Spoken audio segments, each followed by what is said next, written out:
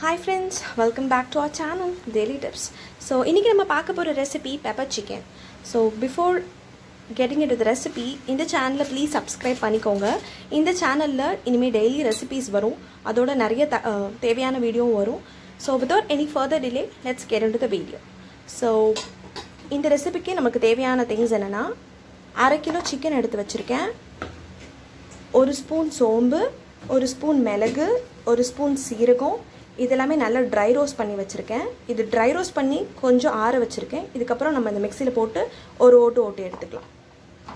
பத்து சின்ன வெங்காயத்தை நான் சின்ன சின்னதாக அரிஞ்சு வச்சுருக்கேன். உங்களுக்கு வேணும்னா நீங்கள் ரெண்டு பெரிய வெங்காயத்தை கூட சின்ன சின்னதாக அரிஞ்சு வச்சுக்கலாம். கொஞ்சமாக கருவேப்பிலை கொஞ்சமாக கொத்தமல்லி எடுத்து வச்சுருக்கேன். கார்னிஷிங்க்கு பட்டை லவங்கம் அனாக்கச்சிப்பூ எடுத்து வச்சுருக்கேன்.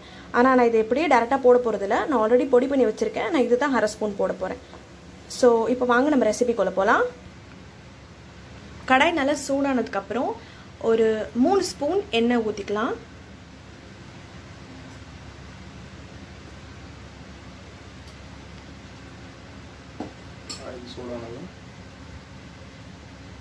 இதுக்கப்புறமா கொஞ்சம் போல் கருவேப்பிலை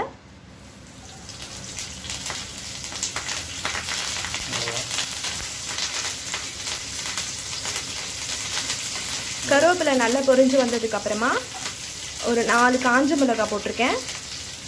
உங்களுக்கு காரம் வந்து காஞ்ச மிளகாய் பிடிக்காதுன்னா நீங்கள் பச்சை மிளகாய் கூட போட்டுக்கலாம்.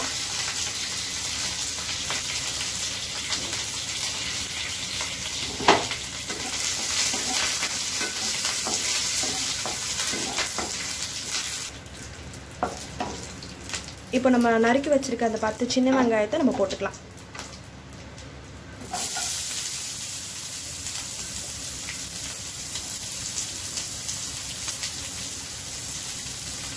இதோட ஒரு கால் ஸ்பூன் மஞ்சத்தூளை கூட நம்ம போட்டுக்கலாம்.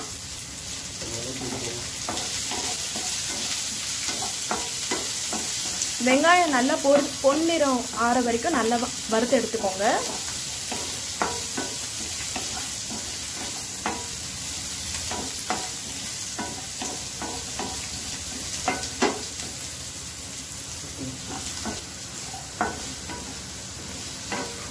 நான் இப்போ வெங்காயம் வதங்கும் போதே ஒரு ஒரு ஸ்பூன் இந்த சிக்கனுக்கு தேவையான அளவு உப்பு போட்டிருக்கேன். ஸோ தட் வெங்காயம் கொஞ்சம் சீக்கிரமாக வதங்கும். நான் ஒரு விஷயம் சொல்ல மறந்துட்டேன். இதோட ஒரு ஸ்பூன் ஜிஞ்சர் கார்லிக் பேஸ்ட்டும் ஆட் பண்ணணும். இப்போ நான் அதை ஆட் பண்ணிக்கிறேன்.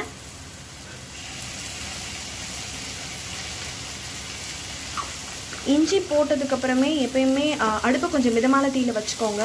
இல்லைன்னா கொஞ்சம் கரைஞ்சிரும்.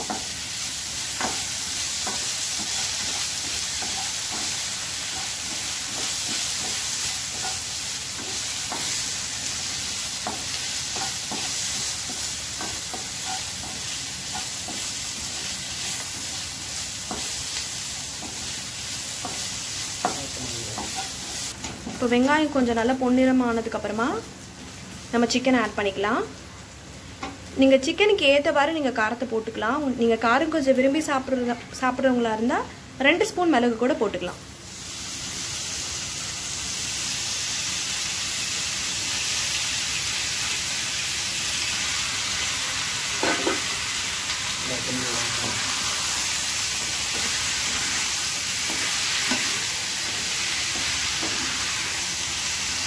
சிக்கனை போட்டதுக்கப்புறமா ஒரு ஒரு நிமிஷம் அது நல்லா அந்த வெங்காய மசாலாவோடு சேர்கிறதுக்கு நல்லா ஒரு கிளறி கிளறி விட்டுருங்க. கிளறி விட்டுட்டு ஒரு ரெண்டு நிமிஷம் அதை அப்படியே அடுப்பில் வைங்க. அதோட இப்போ போகிறோம் இப்போ நல்லா வதங்கினதுக்கப்புறமா இப்போ நம்ம அரைச்சி வச்சுருக்க அந்த மசாலாவை அதில் ஆட் பண்ணிக்கலாம்.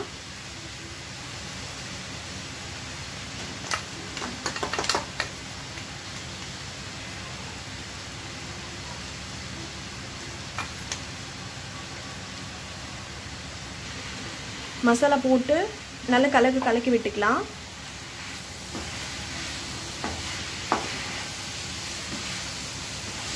மசாலா நல்லா சிக்கனோட கொஞ்சம் நல்லா கோட் ஆகணும். இந்த ஸ்டேஜில் நான் ஆரம்பத்திலே சொன்னேன் இல்லையா? பட்டை அனாக்கச்சிப்பூ லவங்கம் எல்லாம் சேர்த்து பொடி பண்ணி வச்சுருக்கோன்னு அந்த பொடியை ஒரு கா ஸ்பூன் போட்டுக்கலாம்.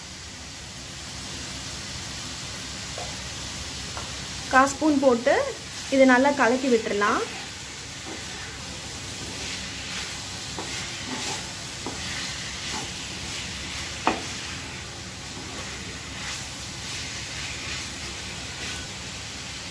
இப்போ சிக்கன் நல்லா வேகணும்.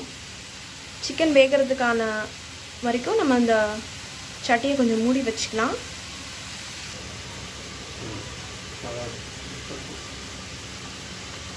சிக்கன் ரொம்ப வெந்துருச்சுன்னா ரொம்ப ரப்பர் மாதிரி ஆகிடும் அவ்வளோ அளவுக்கு வேக வச்சிடாதீங்க ஒரு ஃபைவ் டு சிக்ஸ் மினிட்ஸ் வெந்தாவே போதும். நல்லாவே சிக்கன் வெந்துடும் ஏன்னா ஆல்ரெடி சட்டி ரொம்ப சூடாகவே இருக்குது கொஞ்சமாக தண்ணி தொளிச்சு விட்டுக்கலாம். ரொம்ப தொளிக்க வேண்டாம். நம்ம கிரேவியாக பண்ண போகிறதுல ட்ரை பெப்பர் சிக்கன் தான் பண்ண போகிறோம் ஸோ கொஞ்சமாக தண்ணி தொளிச்சு விட்டுக்கலாம்.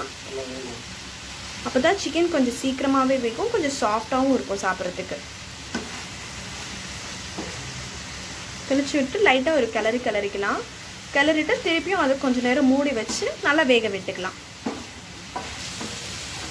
பார்த்திங்கன்னா அந்த சிக்கன் நல்லா வெந்து நம்ம ஊ தெளிச்சிருந்தது கொஞ்சம் கொஞ்சம் தண்ணி கூட நல்லா இறுகிருச்சு. இன்னும் ஒரு டூ டு த்ரீ மினிட்ஸில் நம்ம அதை ஆஃப் பண்ணிடலாம். இப்போ இந்த சிக்கன் நல்லா வெந்துருச்சு. இப்போ இந்த ஸ்டேஜில் நம்ம கொஞ்சமாக கொத்தமல்லி தலையை கார்னிஷிங்காக ஆட் பண்ணிக்கலாம்.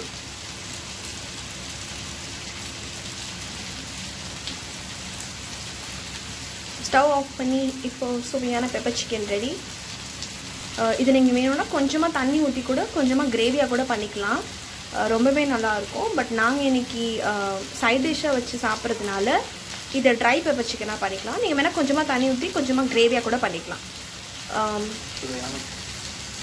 ஸோ இந்த சேனலை சப்ஸ்கிரைப் பண்ணிக்கோங்க. மறக்காமல் பக்கத்தில் உள்ள லைக் பட்டனை கிளிக் பண்ணிக்கோங்க. அண்ட் பெல் ஐக்கானையும் கிளிக் பண்ணிக்கோங்க. ஸோ தட் நாங்கள் போடுற வீடியோஸ் எல்லாமே உங்களுக்கு நோட்டிஃபிகேஷனாக வரும். இப்போ நம்ம சாப்பிட்றதுக்கான ட்ரை பெப்பர் சிக்கன் நல்லாவே ரெடி ஆகிடுச்சு சுவையான பெப்பர் சிக்கனை நீங்களும் உங்கள் வீட்டில் ட்ரை பண்ணி கீழே உள்ள கமெண்ட் பாக்ஸில் உங்களோட கனிவான கருத்துக்களை நீங்களும் சொல்லலாம்.